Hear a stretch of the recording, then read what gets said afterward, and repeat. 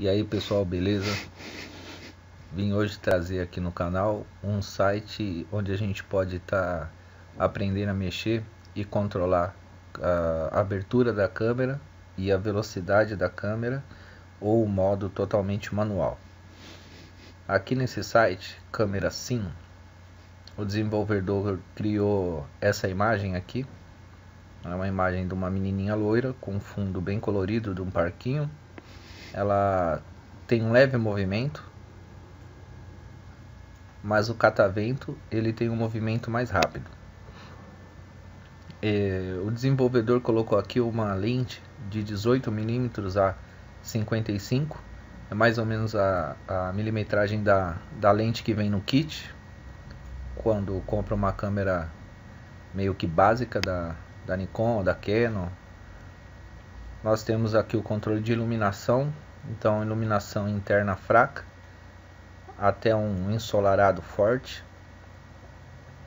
Nós temos a distância de, da, da modelo, né? Seria de 3 metros a 1 metro. Aqui nós temos os controles de abertura, velocidade e manual, usando tripé ou não.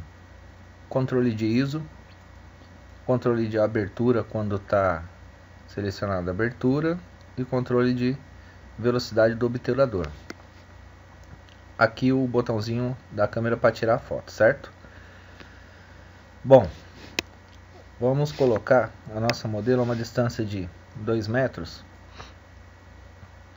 com a distância focal em 18 controlar a abertura da câmera em ISO 100 se nós tirarmos a foto com uma abertura 2.8 da lente vai estar tá dando 1/50 de velocidade. Tiramos a foto, 1/50 conseguiu congelar o modelo, mas não conseguiu congelar o nosso catavento aqui. Ele ficou borrado, né? A foto ela saiu boa, ela saiu legal, fundo desfocado, mas não conseguimos congelar o catavento. Então, nós vamos ter que aumentar essa abertura aqui para ficar um 8 alguma coisa. Só que a nossa lente aqui no caso não chegaria a essa abertura maior. Então teríamos que aumentar o ISO. Aumentando o ISO, o obturador ele vai ficando mais rápido conforme a gente aumenta o ISO. Um 800 já daria para congelar toda a imagem. Só que como dá para ver aí, ficou bastante ruído na imagem, né? A imagem ficou granulada. Vamos colocar no comprimento focal 55, vai dar para ver bem a granulação.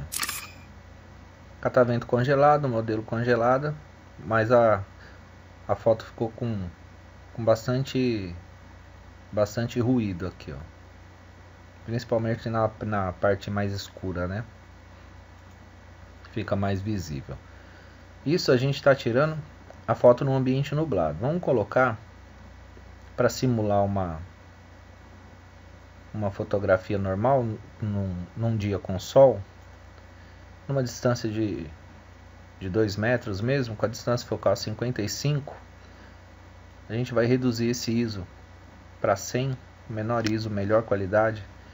A gente sabe que a nossa, nossa lente de 18 55 ela tem uma abertura de 3.6 que seria 3.5 que seria essa daqui a 5.6 que seria essa daqui a 55 então essa lente 1855 em 55 milímetros ela nunca vai ter uma abertura maior do que 5.6. Nunca vai abrir mais do que isso. É, a mínima dela seria isso daqui, a, a, nessa nessa distância focal aqui. Esse comprimento focal de 55 milímetros ficaria 5.6, não vai mais do que isso. É, aqui a gente tem a, a velocidade do obturador, só que a gente só define a abertura. Vamos tirar uma foto, tá com 1/60 está bem fotometrada aqui, né? Um ISO 100 com a nossa abertura 5.6 e velocidade 160. Ó, ficou uma foto perfeita, só que o catavento não conseguiu congelar. O catavento ainda está em movimento. Então, por mais que você mexa aqui, não teria o que fazer, a não ser aumentar o ISO. Então, a gente aumenta o ISO em 200 para 200 para 400, já deu uma velocidade de 640, a gente já vai conseguir congelar o, catavento. A gente congelou toda a imagem, deu um pouquinho de ruído, mas bem pouco. E isso daqui você consegue tirar na, na edição da imagem depois. Você consegue reduzir bem esse ruído aqui e consegue uma, uma imagem bem bacana, mesmo com ISO 400.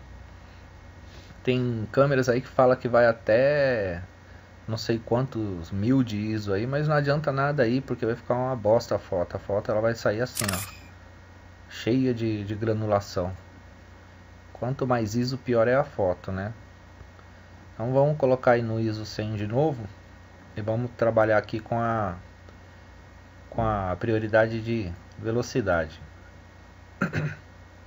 Na velocidade, a gente vai controlar aqui e a nossa abertura ela vai se movimentar ali.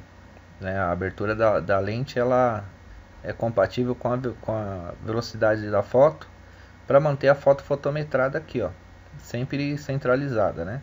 Então, se a gente colocar, imagina que você tem uma lente 1855 do kit e você vai tirar uma foto de 1/60 a 55 com 5.6, tá certinha a toda a especificação da câmera aqui, o setup da câmera tá certinho. Então, você tirou a foto é isso aqui que você vai conseguir com a lente do kit. Não tem outra opção, não tem como você querer congelar a imagem. Se você quiser congelar a imagem colocando, sei lá, uns 400 aqui, ela já foi para 3.5. Mas a nossa lente na nossa câmera não permite que vá para 3.5. Ela é 3.5 se tiver em 18 milímetros. Aí você consegue essa foto. Catavento congelado com o rostinho dela aqui, tudo bem iluminado. Mas desde que esteja a 18 milímetros. Você vai ter essa abertura 3.5. Mas você quer tirar uma foto mais perto? Então você faz o que? Vem mais perto da modelo e tira a foto. Então você vai deixar de usar o zoom da câmera, né? De 18 para 55, mas você vai se aproximar do modelo e vai tirar foto e vai conseguir. Na sua câmera, se você jogar 55, a sua abertura automaticamente vai para 5.6. Vai ficar isso aqui. A não ser que você mexa no ISO e melhore um pouco mais esse resultado do tempo.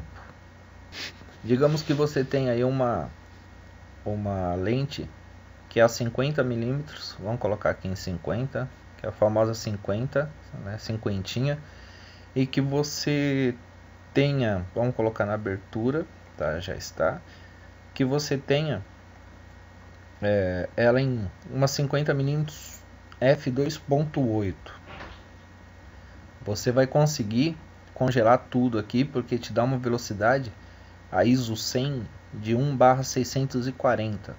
Então se tirar a foto, ó, tudo congelado foto perfeita sem, sem aqueles pontinhos branco do ISO aqui, ó, na parte escura. Se você quiser uma foto um pouco mais longe, você vai ter que se afastar, porque essa lente de 50mm ela é fixa. Então, você se afasta a 2 metros, você vai ter uma foto de busto, né? Também congelando o catavento, congelando toda a imagem, desfocando o fundo. Se você quiser uma foto com mais parte do corpo, digamos a cintura da, da cintura para cima aqui você a 2.8 metros né 2 metros e 80 você consegue essa foto e uma foto de, de rosto aqui você consegue com um metro de distância da, da modelo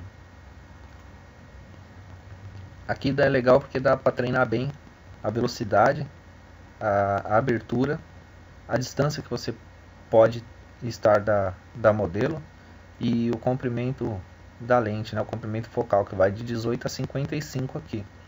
Dá para controlar a iluminação, essa interna fraca é como se você estivesse dentro de casa. Interna brilhante um pouco mais clara, né? nublado, o sol predominante e o ensolarado forte. No ensolarado forte, ele chega a te dar 4000 de, de velocidade numa abertura 2.8. Pode ver que está piscando aqui, quer dizer o que? Que a foto ela já deu uma estourada, ela já foi mais pro claro. Vamos tirar a foto para ver. Ó, ela já ficou mais clara do que deveria ficar. Né? Então nesse caso aqui não teria o que fazer é, a não ser aumentar um pouco o nosso F para poder deixar ele mais, mais fechadinho, né?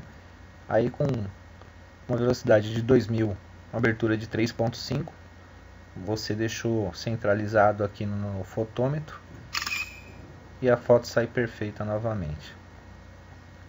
Se você for optar por velocidade, sabendo que a 55 milímetros é a nossa maior distância focal, né? Ia estar 5.6 a nossa abertura, um barro 800 que seria o obturador, congelaria o catavento, pegaria nossa modelo, fundo desfocado, tudo certinho. Bom, é isso. Esse site aqui eu vou deixar na descrição do vídeo. Dá para treinar bem, é bem legal, com calma, dá para entender certinho é, as funções aí da câmera, né? Esse daqui é uma câmera virtual, é um simulador de câmera. Valeu? Até um próximo vídeo aí, grande abraço.